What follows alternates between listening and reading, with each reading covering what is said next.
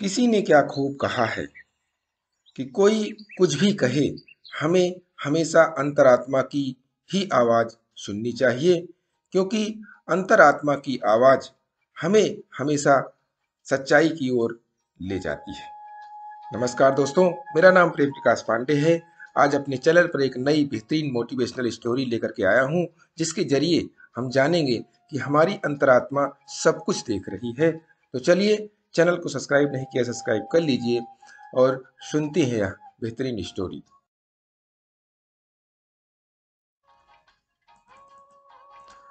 बहुत समय पूर्व, जब गुरुकुल शिक्षा की प्रणाली होती थी, तब हर बालक को अपने जीवन के 25 वर्ष गुरुकुल में बिताना पड़ता था। उस समय एक प्रचंड पंडित राधे गुप्त हुआ करते थे, जिनका गुरुकुल बहुत प्रसिद्ध था। जहाँ दूर दूर के राज्य के शिष्य शिक्षा प्राप्त करने आया करते थे। बात उन दिनों की है जब राधे गुप्त की उम्र ढलने लगी थी और उसकी पत्नी का देहांत हो चुका था। घर में विवाह योग्य एक कन्या थी। राधे गुप्त को हर समय उसकी चिंता सताती रहती थी। वह उसका विवाह एक योग्य व्यक्ति से करना चाहते थे। जिसके पास संपत्ति भले ना हो, वह कर्मठ हो, जो किन्हीं भी परिस्थिति में उसकी बेटी को खुश रखे और उचित समय पर उचित निर्णय ले सके।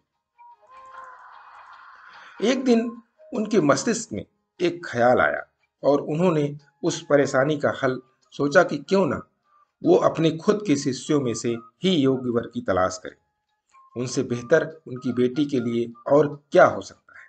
इस कार्य के लिए उन्होंने बुद्धिमान की परीक्षा लेने का निर्णय लिया।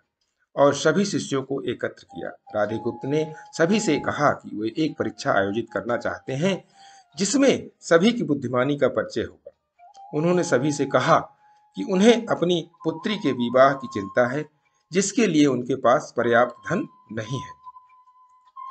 इसीलिए वे चाहते हैं कि उनके शिष्य विवाह में लगने वाली सभी सामग्री कैसे भी करके एकत्र करें।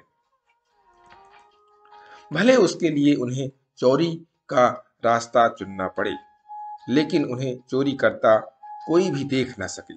इसी एक शर्त का पालन सभी को करना है। अगले दिन से सभी शिष्य कार्य में जुट गए। रोज़ाना कोई न कोई कोई तरह की तरह की वस्तुएँ चुरा कर लाता और राधा गुप्त को दे देता। राधा गुप्त उन्हें एक विशेष स्थान पर रख देते, क्योंकि परीक्षा के बाद यह सभी वस्तुएँ उनके मालिक को वापस करना ज़रूरी था।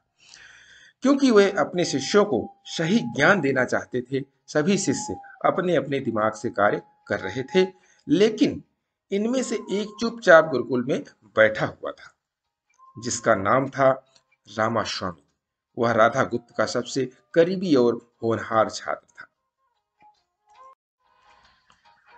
उस ऐसा बैठे देख राधा गुप्त ने इसका कारण पूछा तब रामा स्वामी ने बताया कि आपने परीक्षा की शर्त के रूप में कहा था कि चोरी करते वक्त इसे कोई न देखे। इस प्रकार अगर हम अकेले में भी चोरी करते हैं, तब भी हमारी अंतरात्मा उसे देख रही है।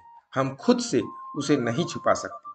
इसका अर्थ यह है कि चोरी करना व्यर्थ है। उसकी यह बात सुन राधा गुप्त के चेहरे पर खुशी छा जाती है।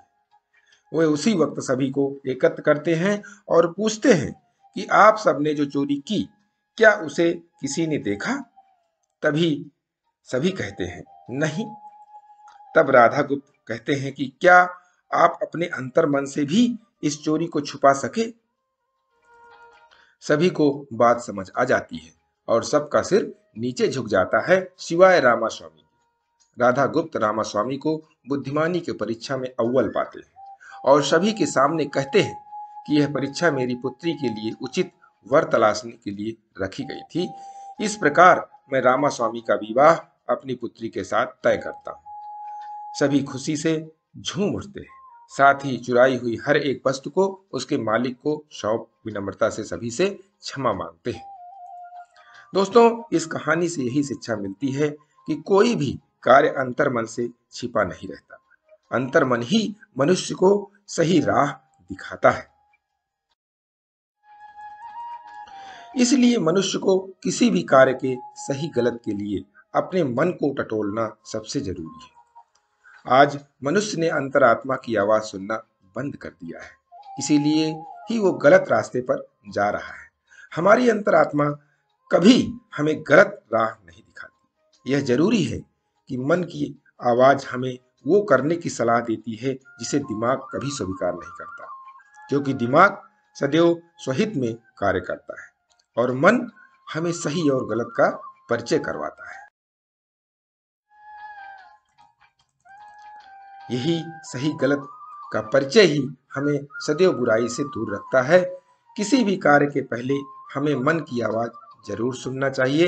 दोस्तों, मन की आवाज़ सुनिए और सही कार्य करते रहिए। और प्रतिदिन सुबह साढ़े पाँच बजे एक नई कहानी, एक नई उमंग से करे दिन की शुरुआत।